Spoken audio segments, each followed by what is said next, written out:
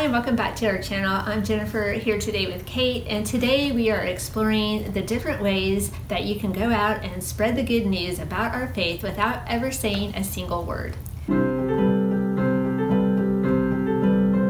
Many of you have probably heard the saying from St. Francis that says, spread the gospel, if necessary, use words. And while that is a wonderful quote, as we know from reading this book, What the Saints Never Said, St. Francis probably never said that, but still, the fact remains that Jesus has called us all to go out and share our faith and help spread the gospel. But this can definitely be hard for some people. We're not all naturally gifted public speakers You want to go out and preach on the street corner. Um, and this is especially hard for kids and teens, or maybe people who are new to the faith and they're a bit intimidated by it. So, we hope our ideas today can help you feel more confident and make it easier for you to go out and spread the good news. As you know, if you've watched many of our videos, I do teach teenagers, and they particularly struggle with talking about Jesus because they think that's weird and they don't want to be weird like me. I love to talk about jesus. So the idea for spreading the faith wordlessly came from my classroom experiences.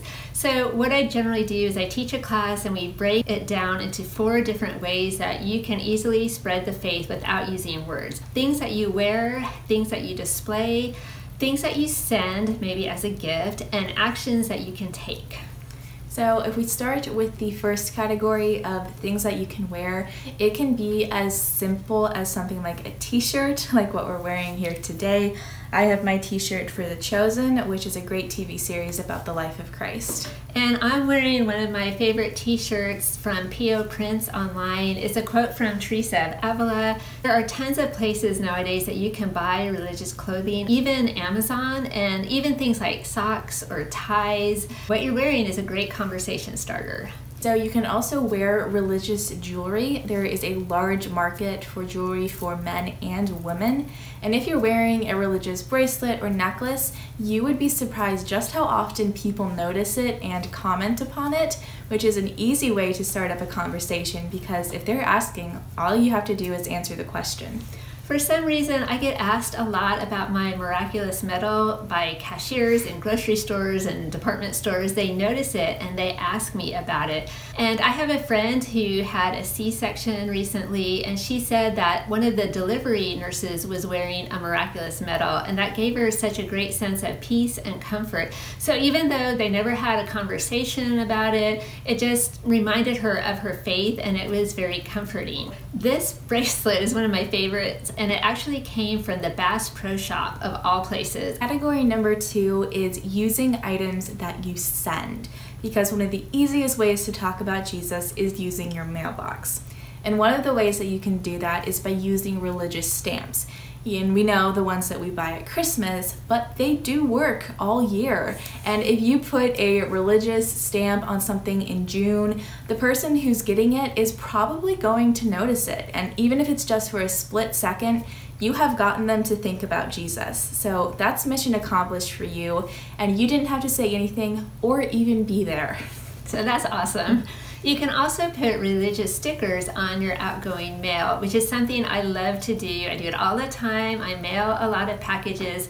So I go to Hobby Lobby when stickers are on sale and I buy the religious ones there. I also buy pro-life stickers online and I'll link my favorite website for that below. So that's one way to get the message out there. The Dollar Tree also from time to time has Catholic stickers or religious stickers. So that's also another great source.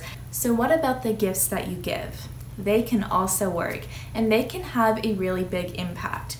And now you might think that your friend or coworker is never going to read the religious book that you gave them or the towel with the Bible verse on it, but you never know. They can't read a book that they don't have. And if they don't have that religious tea towel, they can never read the verse that's on it. So that's a good opportunity. Also, this one is really good for godparents. If you are sending presents to godchildren, there are so many fun religious gifts available nowadays, so the ideas are limitless. You can buy them a Catholic book, age appropriate, every year for their birthday and send that. So start a collection for them. And by the time they're grown up and they leave home, they will have a ready made Catholic library to share with their own children, which is a really cool idea. So category number three is items that you display. And this could be at work, at your house, or even in your car. Because yes, you can use your car as an advertisement for Jesus. You could have a Bible in the back seat, or a rosary up by the dash, or even one of those guardian angel visor clips, and they're great for starting conversations.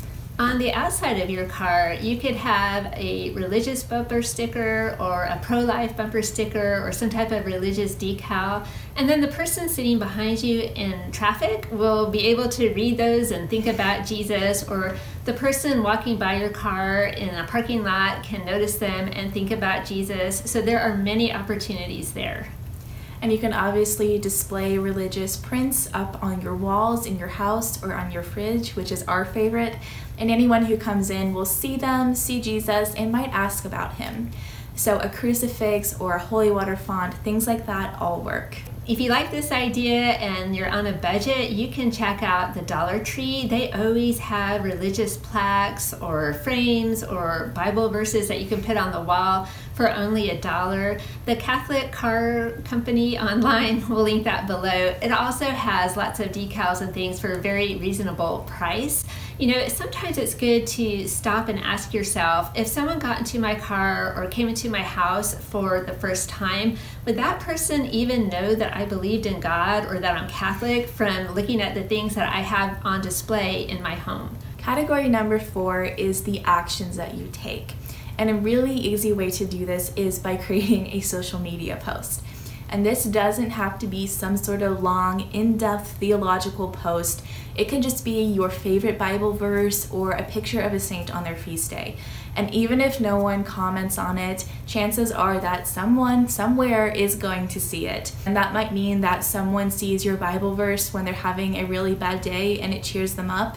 Or maybe they see the post you made about a saint and they get really interested and ask you about it. Another great action that you can take is to volunteer at church. Maybe there's a confirmation retreat going on, or an engaged encounter weekend, or maybe Vacation Bible School needs volunteers.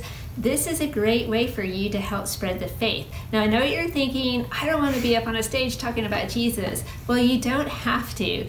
These type of events need a lot of support players. They need people in the kitchen. They need people to help decorate, people to help direct traffic in the parking lot. So you can do any one of those things. You can be a major support player and it's all going towards the same goal of spreading the good news or you can financially support a Catholic organization that's aiming to spread the faith. This could be Catholic Answers, Catholic Radio, Dynamic Catholic with Matthew Kelly.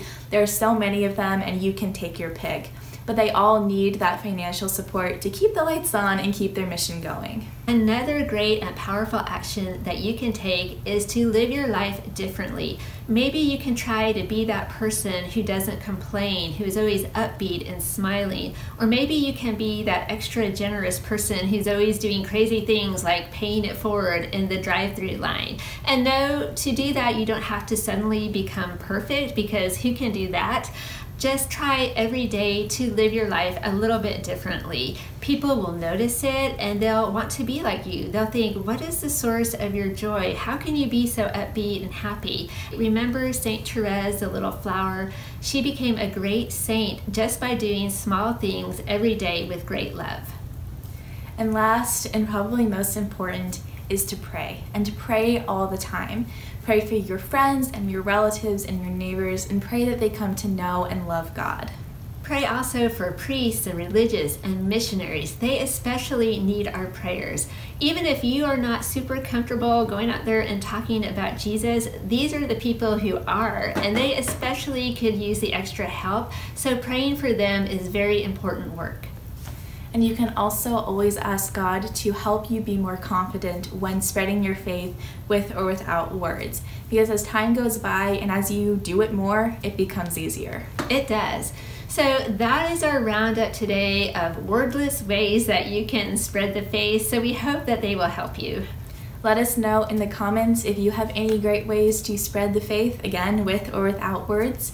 We hope you enjoyed the video. Thank you for watching, and we'll see you next time. Bye. Bye.